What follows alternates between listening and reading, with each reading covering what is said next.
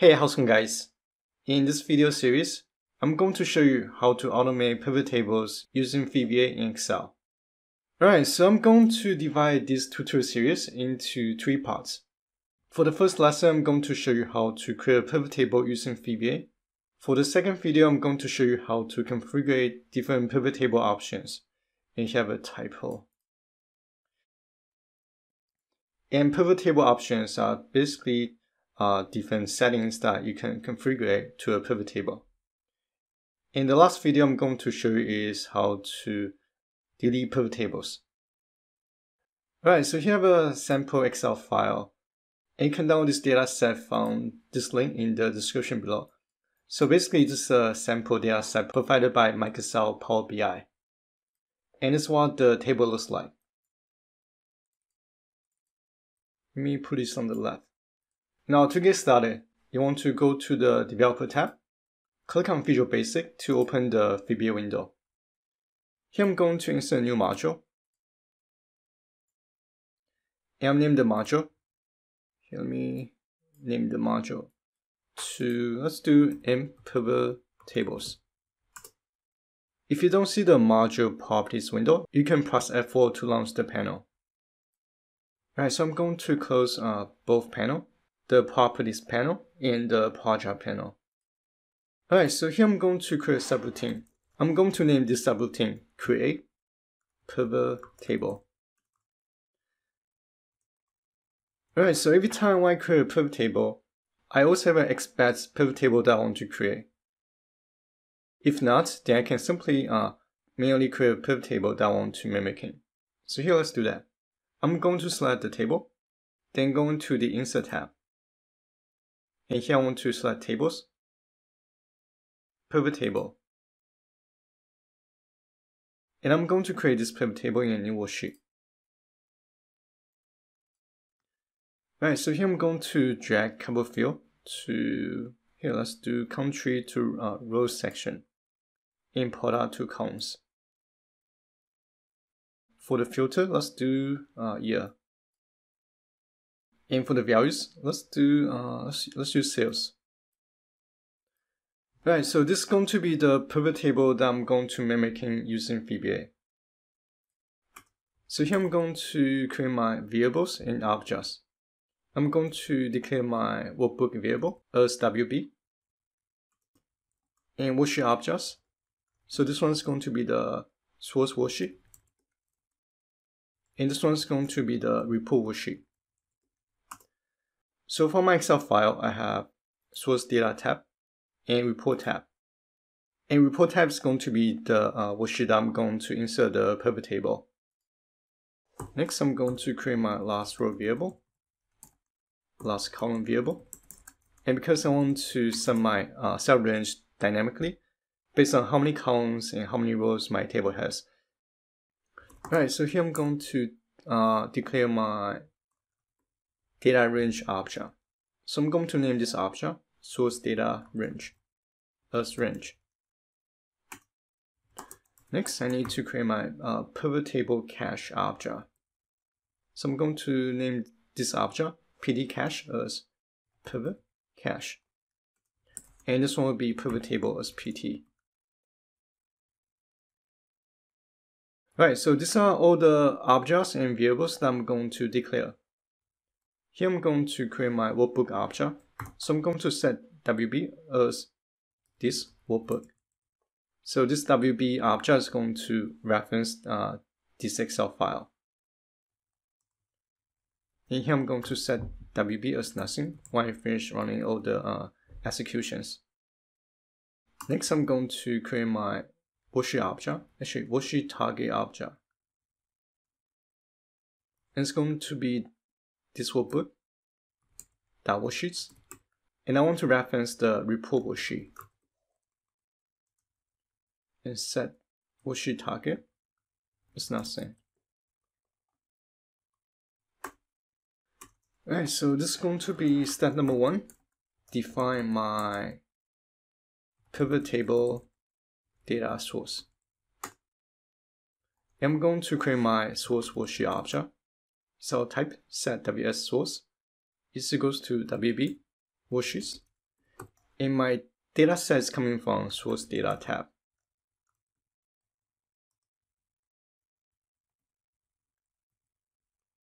I'm going to name uh, this routine clean up. And right here, I'm going to insert air handler. So I'm going to type on air, go to air handler. And here I'm going to type access sub, and this is going to be my air handler. If I run into any error, I want to print the error message.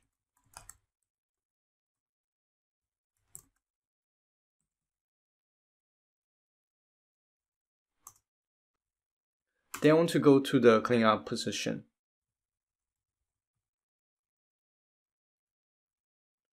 Alright, so let's continue. So here I'm going to insert a with statement within the source worksheet. I want to create my last row and last column variables. To get the last row number, so here I'm going to type dot cells rows count and I want to get the last row number based on column A. Dot n x up dot row. Next, I want to get the last column number and assign the number to the last column variable. So here I'm going to type dot cells. And I want to determine the last column based on the first row. And it's going to be columns, actually columns dot count dot int excel to left the column. Let's take a look. Now I want to define my source data range object. So I'm going to type set source data range is equals to that range. And as I mentioned before, uh, this is going to be dynamic. So my uh, starting position is going to be from the first row, first column, all the way to last row, last column. I'm done with the uh, with statement. Alright, so this is going to be step two. Create pivot cache. So pivot cache is basically uh, saving the table in memory for future pivot table creation. And to create a pivot table cache, I'm going to type set pt cache is equals to uh, this workbook dot pivot cache, actually pivot caches dot create. Since my data source is already uh, stored in the Excel spreadsheet, so I'm going to choose Excel database. Next, I need to specify the source data cell range. In here, I can insert the source data range object. Oh, in here, I need to uh, set those objects as nothing.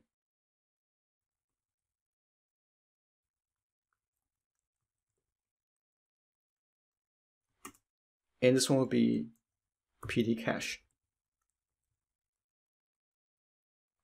and pivot table.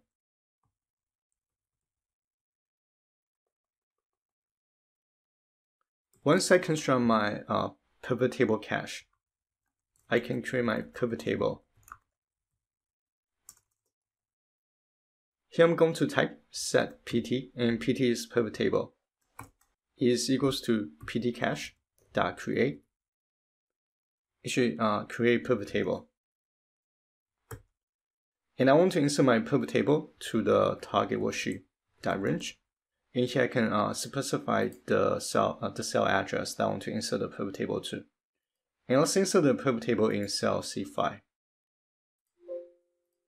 So I'm going to type C5.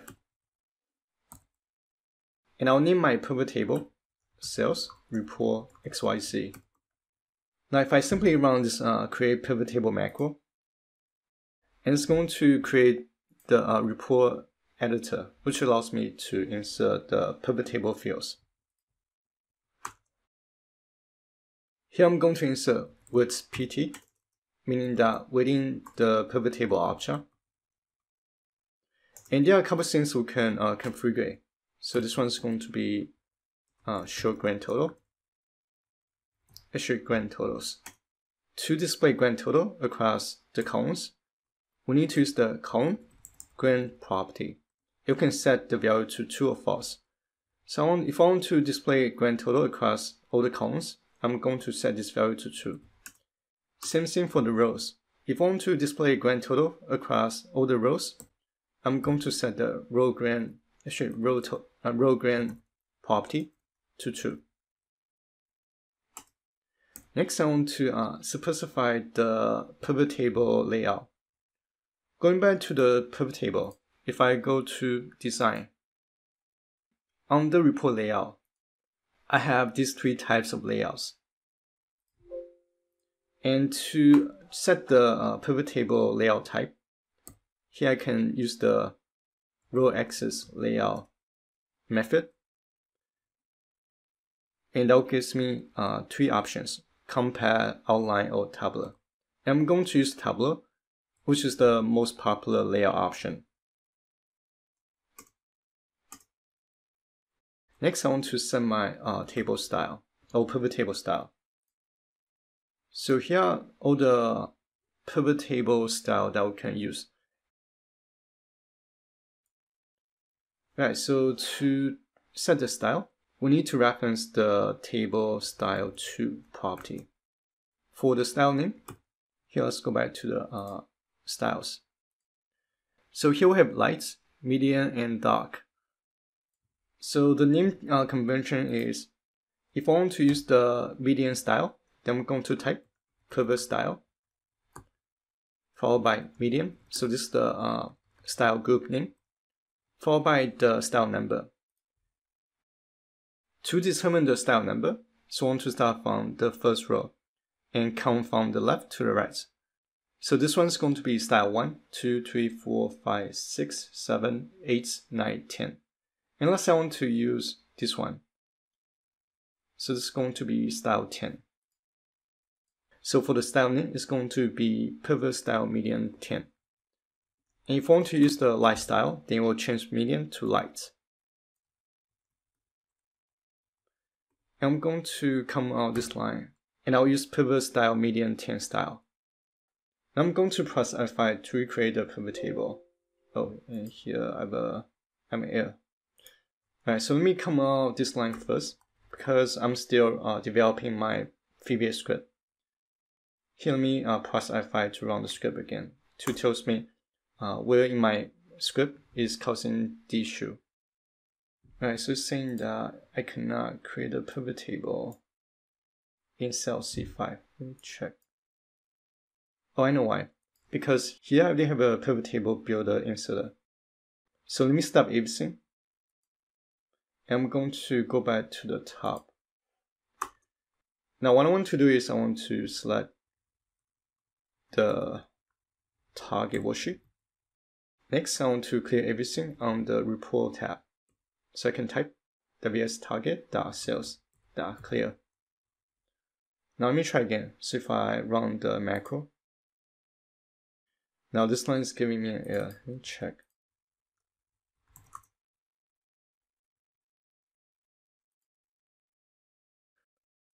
I can see that uh, my Excel file is a little bit uh, freeze. Now what I'm going to do here is I'm going to save this Excel file. I want to save this file as uh, macro enable file. So under the file type, I'm going to choose macro enable workbook and save this file. And I'm going to close this file. And I'll reopen the file.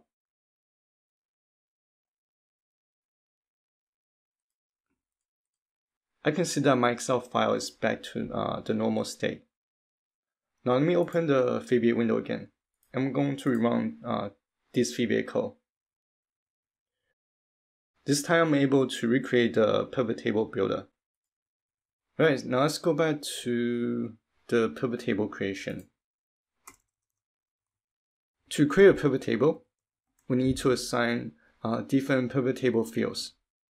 So here I'm going to insert nodes,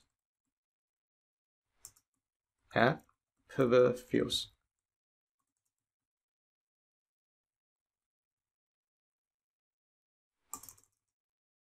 And let's start with the filters field first, or filters section. Filters. Within the pivot table object, I want to insert another with statement. And this one's going to be pivot fields. I want to insert the column that I want to use as my filter. If I go to my source data, let's use, uh, let's see, let's use the year column as my filter. Inside the pivot fields property, I'm going to insert the column name. Inside the pivot fields property, I need to specify the orientation. For filters, it's going to be Excel page field. Oh, more thing. If you want to enable the multi-selection, then you want to set the enable multiple page items property to true. Now let's say I want to insert two filters, not just one. Let's choose another column. Let's use the product column as my second filter. So I'm going to copy uh, this code block and I'll copy and paste. I'll change the uh, column name to product. Now if I run the macro, it's going to create the pivot table with these two filters built in.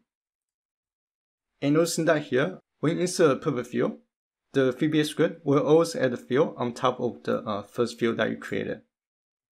If you want to switch the order by uh, having the year filter on the top, then you will create the uh, product filter first, followed by the year filter.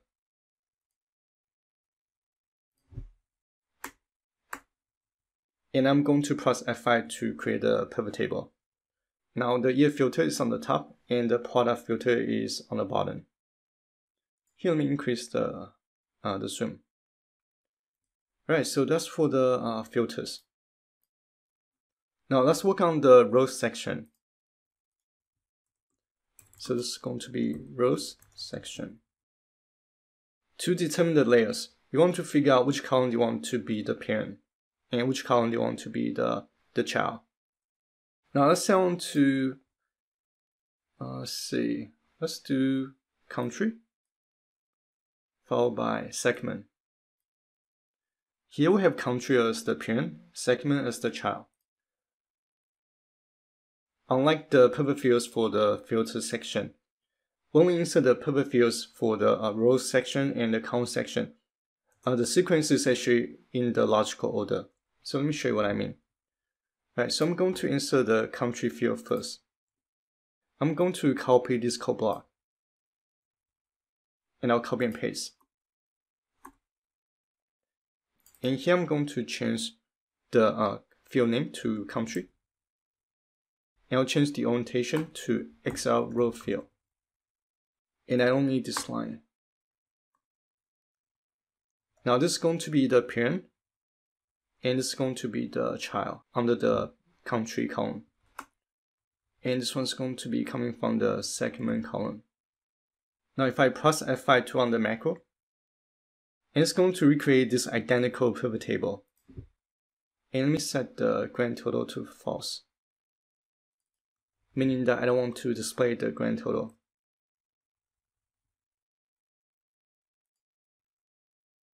Oh, so these are subtotals. If I want to turn off the subtotal, here let me insert, insert the link. If I want to turn off the subtotal, so the default uh, function the pivot table uses is the sum function. And from this list, we need to reference here. Let me type the uh, property first. And it's going to be subtotals, followed by the uh, function that I want to turn off and to represent the sum function. And we're going to set the value to false.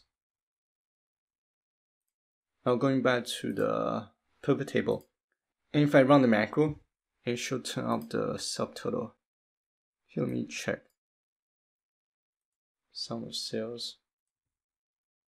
Here, let me change the index to 1.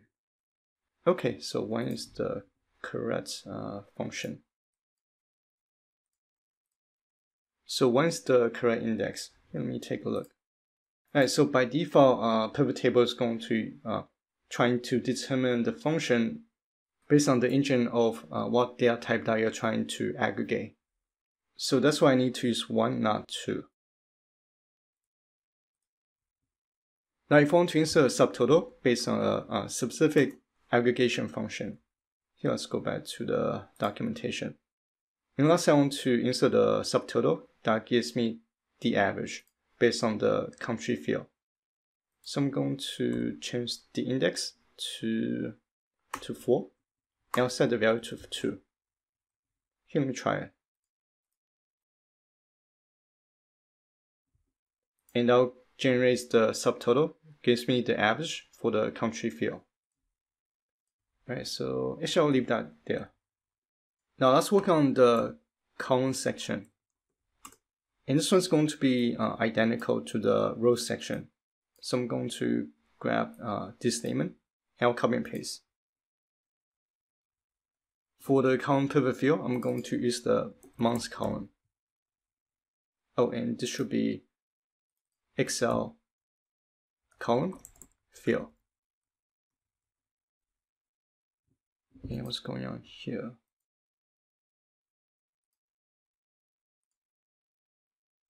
Oh, it should be months name, not months.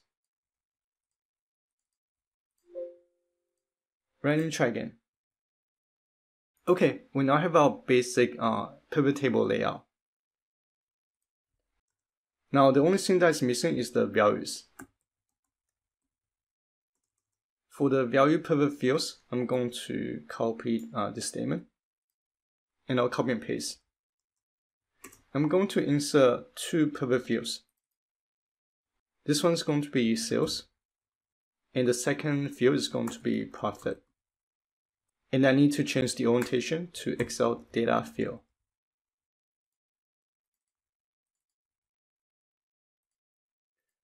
Alright, so inside the uh, values pivot field, I need to specify the function that I want to use.